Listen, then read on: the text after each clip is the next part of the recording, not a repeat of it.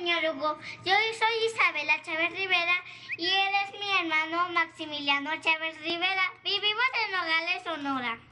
Y tenemos una pregunta para usted. Cuando ya podamos salir de casa, ¿cómo vamos a saber si no quedó un infectado de coronavirus? ¿Qué tal si alguien queda enfermo y todo vuelve a empezar? Esperamos su respuesta, señor Hugo. Adiós.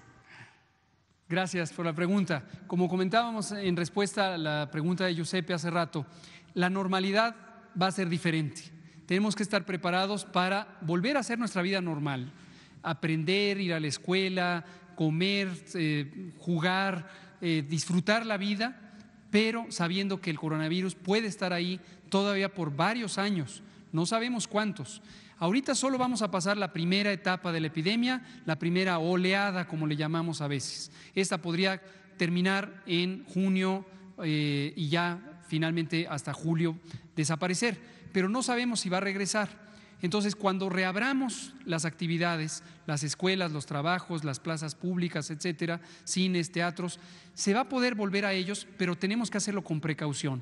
Ya siempre tenemos que acostumbrarnos, y esto tiene que durar por muchos años, a lavarnos continuamente las manos, a guardar sana distancia y a estar atentos de lo que pasa en nuestro cuerpo para poder identificar si tenemos algún síntoma, malestar, fiebre, dolor, dolor de garganta, tos, que éste sea atendido oportunamente.